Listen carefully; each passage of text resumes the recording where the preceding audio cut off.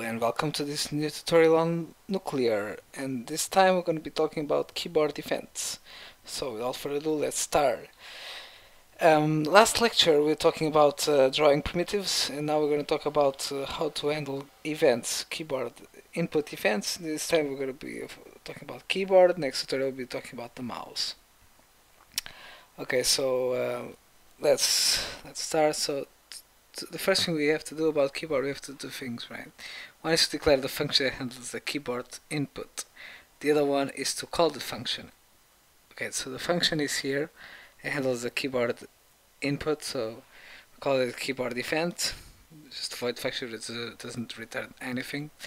And then um, we accept the structure input, nk input and then the function here inside the function you can see the key enter and the key tab.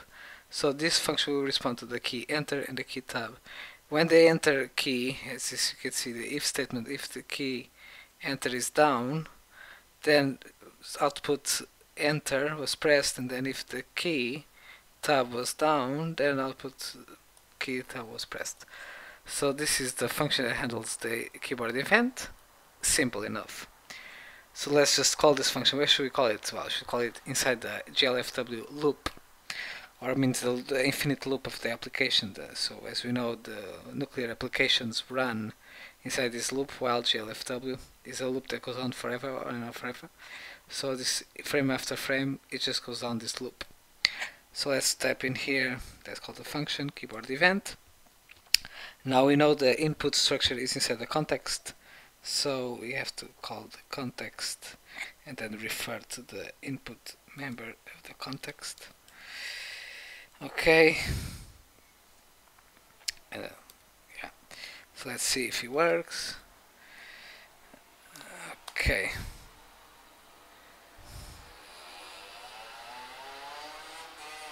So if you press enter if you press enter it outputs keep keep enter was pressed if you press tab it says keep tab was pressed. Now look if I press enter and, keep it pressed like this it just outputs the message once. Same thing with tab. If I press tab and I keep it pressed it just does it once. It doesn't do it multiple times. So if for video games it's useful to, to change that. So when you press a key like tab it keeps acting. So for example, if it was the left arrow or if it was the up arrow key, you'd want it to have a continuous action. So for that, we just change here. So we remove this uh, when the key is clicked. The this uh, else if when the key basically what it means is else if the keyboard keys when the key is down, press down, and when the key has changed the state so if it was unpressed and pressed or if it was pressed and then unpressed. That's what the click means. So let's just remove this and clicked here. We don't need it. And then let's see the behavior. You, you guys can play with this on Nuklear. I'm just highlighting the features so that you can, guys can play later on it. Let's see for example the difference now between the enter key and the tab key. Okay so the enter key key enter was pressed and then if I press it continuously just does it once okay now tab key you can see whoa you can see tab key if I press it continuously just uh, so so can you see the difference? I've pressed tab key only once but continuously and it does so it could be a, a key a space key for shooting or shooting uh, targets or just up and left and down arrow whatever that's an application you might want to know. Now another thing about the keyboard, the final thing about the keyboard, the input, is I don't know why I actually thought of, but I I don't know. I don't know why in, in Nuklear the, there's a very limited selection of keys to choose from. So they don't even have the the numbers or numbers or they don't have the letters A B C D. They don't have the letters. So if you want to add a key that's not here in the list, for example, if you want to add a key R or the or the key space, for example, let's add the key space. It's not here amazingly enough. Space key is not here. So let's add a key space.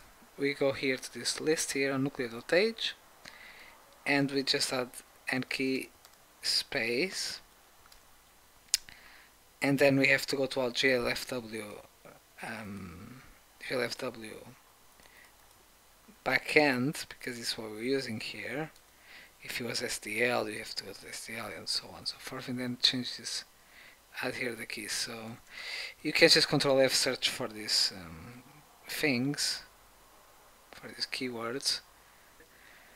Okay so now let's add the space key to our uh, keyboard event function. So else if and now let's hope it works because otherwise I have to start the tutorial all, tutorial all over again and I can't be arsed. And key space not tab anymore so the space button is very useful for video games especially but for other stuff. Uh, key space key space was pressed. Let's see. Um, let's see if this works. It probably won't work. Um, but, but let's see. Let's close the application. Let's see if it works if I press the space key what will it do uh, obviously it's in continuous mode isn't it? Yeah in continuous mode so if I press, if I press the space key oh it works. Tab key enter key enter is not in continuous mode. It's on a single trigger mode. Continuous trigger key space. Okay cool tab okay so that was the tutorial for today. I don't think you can explore things. Of course, you can explore more what is down and click means and the combinations of the AND and OR logic operator or whatever, but just explore more.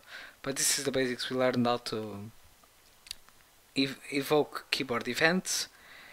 We learned how to use the continuous or single click, a single um, trigger mode for the key and we also learned how to add keys that are not on the list. If you liked the tutorial, please don't forget to give your thumbs up and um, and subscribe to this channel. Thank you so much, and uh, see you guys later.